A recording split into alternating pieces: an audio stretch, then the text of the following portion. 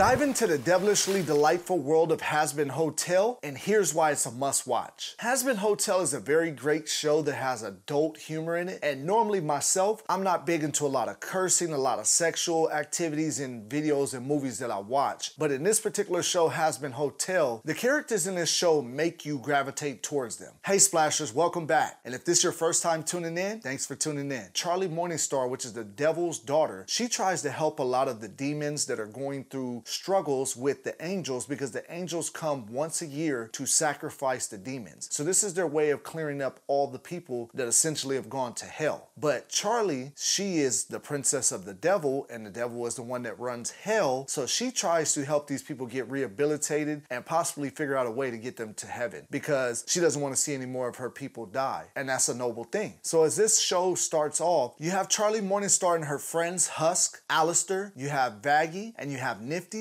and then you have Angel Dust. And these characters all play a different role in the show, and each one has a different personality. So the show is very interesting when you're sitting here watching it because no one is boring. Each one of the personalities plays well off the next one. And Husk is the bartender. Vaggie is Charlie's like best friend that wants to, you know, support her in her endeavors. And then also you have Nifty, which is the little crazy girl that's really just like wild, demonic little, little tiny, compact, cute little girl. And then you also have Angel Dust. Angel Dust is this sex slave to the triple V's, and he's also very just open sexually and he talks real crazy and things like that. And then you have my favorite, which is Alastor, the radio demon. And the things that are the best about this show, each one of their personalities starts to be put on display as you go through watching the episodes. And so far, my favorites of the characters is Alastor and Angel Dust. And as I said before, I'm not big into sexual, you know, sexually explicit cartoons or a whole lot of cursing, but you kind of feel bad for Angel Dust because he's a sex slave to Valentino, which is part of the Triple V's. So they're kind of like a crime syndicate. You have Vox, you have Velvette, you have Valentino. You got all these different characters, and Valentino is the boss of Angel Dust. So he has him being his porn actor and committing all of these different videos and different acts that he's doing with other people. He's being sexually taken advantage of. As you start to see Husk and him develop a relationship where they're kind of seen as being on the same level, they understand each other from a different mindset because Husk is also being taken advantage of by Alastor because I guess he negotiated a deal with Alastor to where he has to do what Alastor wants him to do. The mystery in this show is who and what Alastor is. Alastor is a demon that is known for doing radio shows, and Vox is the one that's kind of like his nemesis so far. Vox actually runs television shows. So he does television and Alastor does radio. So now you're seeing these different dynamics, and Alastor is completely a mystery. You don't know what he's actually doing besides seeming sneaky and shady. So as you're watching the show, you're starting to see a little bit more of his personality, but he's actually one of the bosses. So he's one of the overlords of hell, but he had disappeared for seven years, and we don't know the reason that he disappeared thus far. But a lot of the people don't like him. And Charlie, she tends to be very forgiving and she likes all the different people that she's around, so she doesn't really ever look at the bad side of these other people that are around her. She's working on rehabilitating people. Vaggie's trying to help her do that, and they're all figuring out different parts of their lives and how they're going to get better together and eventually, hopefully, send everybody up to heaven. The animation in the show is done very well. I love the design of the characters. I love their looks. I love how each one has different, you know, stuff on their face, different outfits, different accessories and things like that. Alastor's the coolest. I like how he has the voice that sounds like he's coming through the radio as he talks. His whole design, he has a microphone on his staff. All of that's pretty cool. And then Angel Dust is kind of like a hybrid spider type of demon. So he's pretty cool as well. And then Husk, he has a whole cat in the hat style of like Puss in Boots or one of these like nice, cool cats that you would look at, but he has that like dark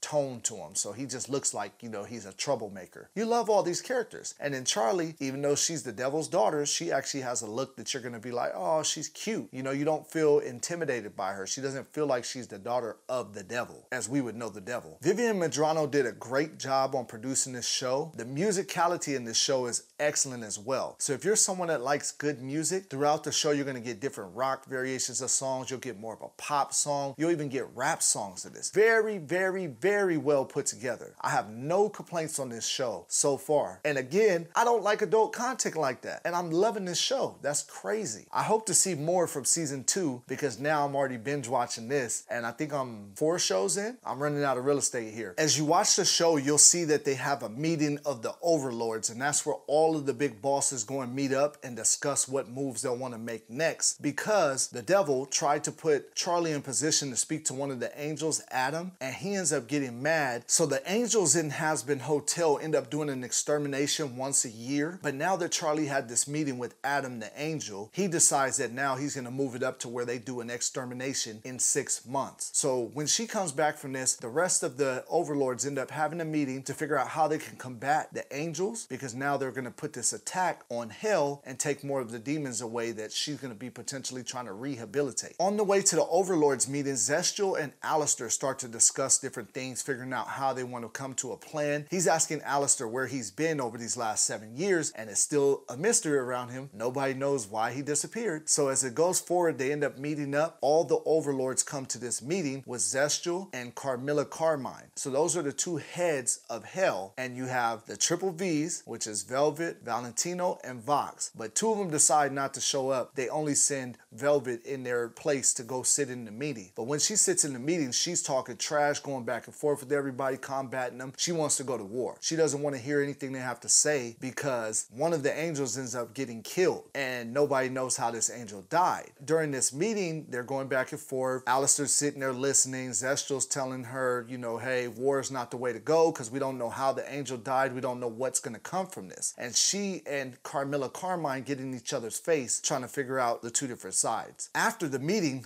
Carmilla Carmine, Zestial, and their daughters end up going into the back office, and Alastor sends one of the egg boys in there to go listen to the conversation. And when he listens to the conversation, he finds out that Carmilla Carmine actually killed the angel. She didn't even realize she could do it, but now that she did it, it stirred up the pot, and now they want to destroy all of hell based on the fact that she killed an angel for the first time ever. So now this is where it gets exciting. We'll find out what's going to happen next because this is as far as I've gotten in the show. But I just wanted to let you guys know my opinion opinions and what I thought about this show. So far, I really, really, really like this show, and I love what Vivienne Medrano did with this show. So I'll be continuing to stay tuned for it, watching all the new episodes as they come out. And if there's any action figures or anything else that comes on the market, I might have to grab some. Thank you guys for tuning in today. I hope you enjoyed this video. Give me your feedback. Let me know what you thought about it as well. And if you also seen that controversy with Verbalase, I did a video on that as well because he actually used Charlie Morningstar in a music video, which supposedly he paid $50,000 to have that video created. That's what actually spurred me to talk about this topic of Hazbin Hotel. It made me find a show that I actually enjoy. So if you haven't already checked out some of my other videos, go ahead and watch the Verbalase 50K music video from the Hazbin Hotel review that I did. And also I have movie reviews like The Color Purple, Aquaman 2, also The Beekeeper, and any other ones that you may enjoy. Hey Splashers, thanks for tuning in. And if this is your first time watching any of my videos, I hope that you enjoy. Subscribe, like, and comment. Follow me on all social medias. Thank you guys for watching.